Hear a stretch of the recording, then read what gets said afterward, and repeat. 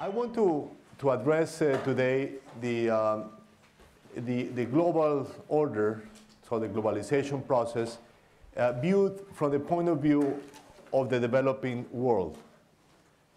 So my, my focus uh, uh, will be uh, on what are the, the, let's say, the, the opportunities and the challenges, and particularly, you know, uh, as we will see throughout the lecture, the, some of the major institutional issues that uh, relate,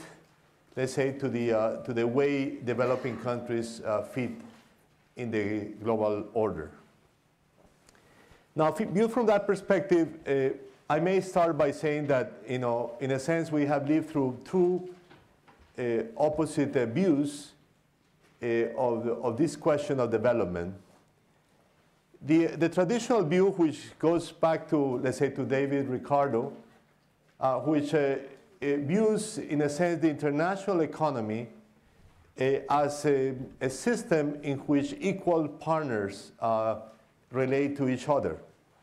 and specialize according to their you know, comparative advantage as the traditional theory goes. Now, there are, in a sense, many versions of, of that, you could even say that the very you know, popular book by, by Thomas Friedman, The, the World is Flat, uh, is a, a, sort of a view uh, of that sort. The, and the opposite view, which uh, is in, you know, to a large extent the one that I'm going to present today, is uh, rather the view of the international system really as a hierarchical system, as a, a system in which unequal partners uh, relate to each other